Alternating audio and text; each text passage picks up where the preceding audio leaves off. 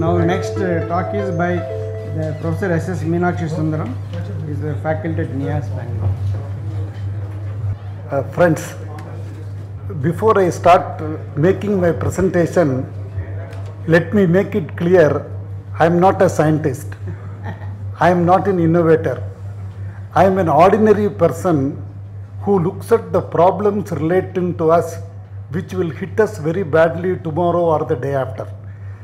In social science, we always deal with the problems which affect us as a group. I was told that uh, you will see a number of young, medium, old innovators who can help you in solving the problems. In the 10 minutes time available to me, I propose to spend 9 minutes in telling what the problems relating to water is, what we need to do in the near future. Since all of you are innovators, you will be able to help us in finding a solution which will solve the problem of water. In the last minute, I also want to say what has been done in the past and where you can pick up those ideas instead of repeating what was done earlier. What is the problem with reference to water? The hard fact is, in another 10 to 20 years, we are going to face an acute shortage of water all through the country. And those of you from Bangalore will face it probably in the next month, if not, you are already facing it now. We are going to have an acute shortage of water. Second, uh, not only in urban areas, in the rural areas also, there is a serious problem for water. How are we going to deal with this? See, if you want to increase the availability of water, there are three areas which we need to look at. The first area is how to increase the water supply. Second, how do we reduce the use, in what way we are using it. And the third, how are we going to use the water and plug the loopholes so that the availability increases. Now, very quickly, what are the sources of water available to us today? The first source is the rainwater. And here the problem is, though everybody says rainwater harvesting is to be done, there is a lot of misunderstanding as to what needs to be done and how it has to be done. What is the cost effective method of having a rainwater harvesting system in your house or in your village? Maybe we will have to find a solution for that. The second problem, second source is surface water. Which are the surface water areas we have? The wells, the ponds, the lakes, the rivers, the tanks. Historically in our country, we have been dependent on all of them. Now we have ruined all of them as a community now. If you go to a village, do you see a well in the village today? Everybody is having a bore well. What happened to the historical well which we built years ago? It has become a waste dump now. Now, today in the African countries, there is a serious talk that we must go back to your own source of water. In Kerala, if you go, the official records say Kerala does not have adequate water. But if you go to any individual house in Kerala, they will tell you we have enough water. What is the reason for this difference? In Kerala, every house has got its own well. They still maintain the well. They take the water from the well. They are happy with the water. But the government records does not accept that because we have not tested the quality. There is no guarantee that the water is good. Therefore, we will say that Kerala does not have adequate drinking water. Now, irrespective of this, can we improve the quality of the water? And first of all, in every village, can we revive that old well which has become a dumping box? Second, can we ensure that it can be deepened? Again, for deepening of wells, there is a community in Andhra Pradesh which specializes in deepening of the wells. Other than them, nobody else gets into it. There is a system called putting the rings. They put the rings and deepen it. I don't know what happened to that. Whether it is a good method or a bad method, I do not know. For my house in my village, I wanted somebody to help me. Nobody was there to help. Now, this is the second area. How do we deepen the well? Is there a quick technology which we can try in the cities?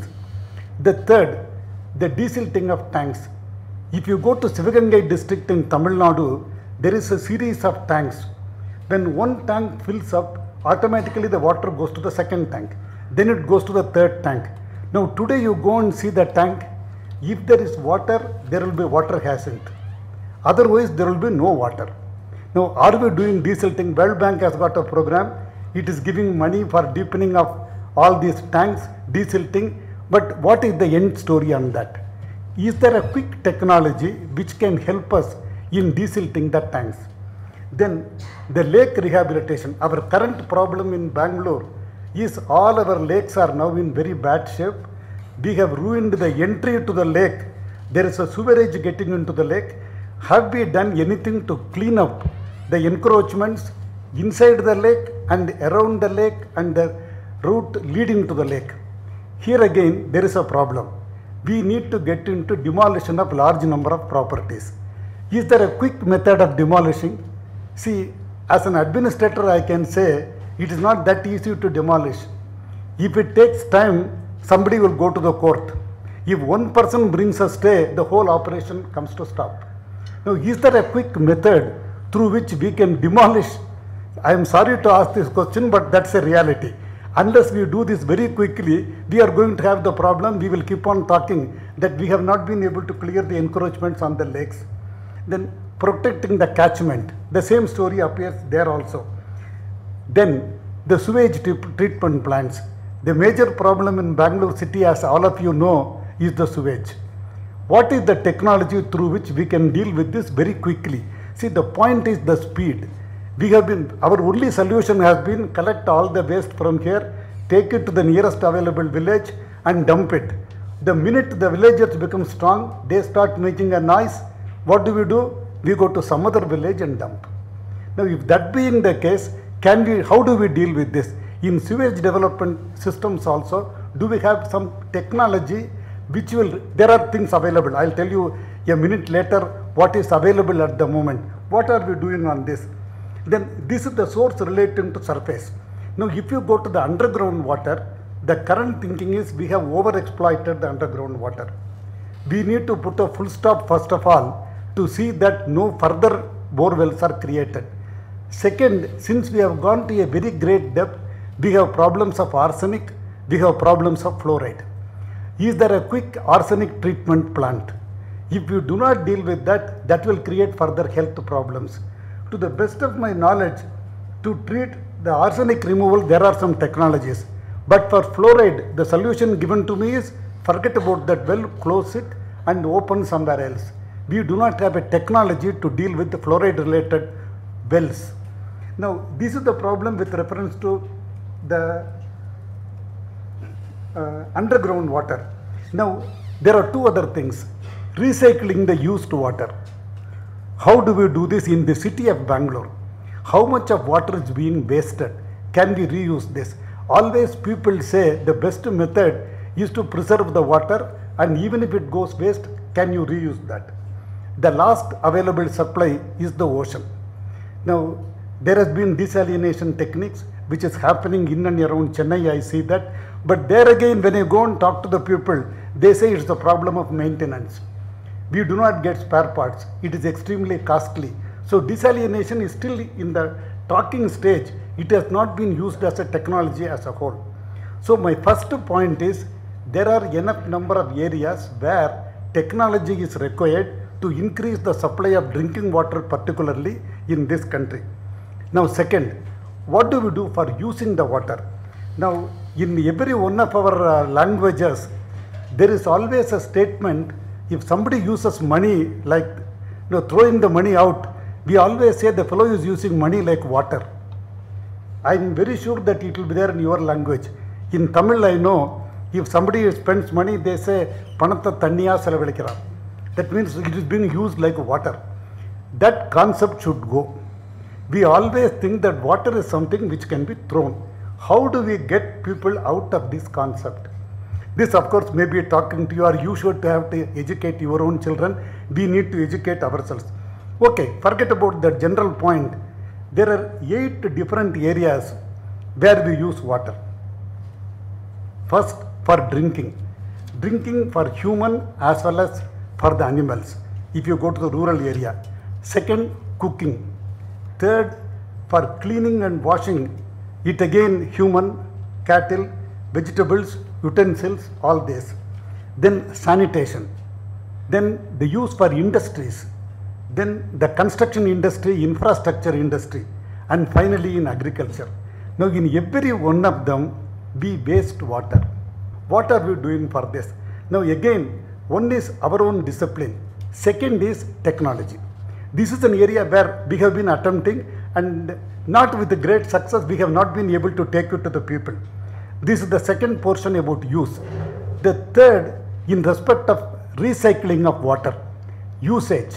How to reduce the use is one, how to recycle is second, how to regenerate the water. All these are areas where in Bangalore experiments are going on.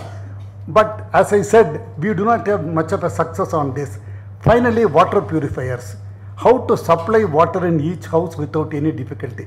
These are the large amount of areas what we need to look at. I think I have reached my 10 minutes, but one last point. It is not that we are doing nothing. There have been, a, for example, in watershed development, we have organizations which are attempting to make the water work. See, if you want to ensure that more water goes into the ground, the only way is today you allow the water to run. Can you stop it? Can you make it work? How do you do it? Is it through social forestry? Is it through farm ponds? Is it through funding? All that you need to decide. Now, finally, there are organizations which are involved in this. If you see what is called India Water Portal, there for each one of the points which I mentioned, there are the attempts which are being made. But as I said, there is no conclusive evidence to say that all these attempts are being done very well and they can be replicated. So we need to identify cost effective solutions, sustainable solutions, replicable solutions, but that's a long way to go. I think I'll stop here. Maybe in the next lecture when we meet next time, I can come with ideas on each one of them. It's available in the India Water Portal. It is available in the MYRADA's website for watershed development.